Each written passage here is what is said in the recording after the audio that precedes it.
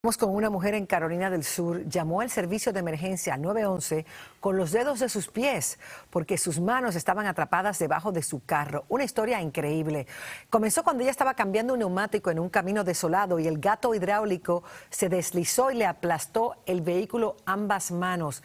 Estas imágenes muestran el instante en que un bombero trataba de liberarla.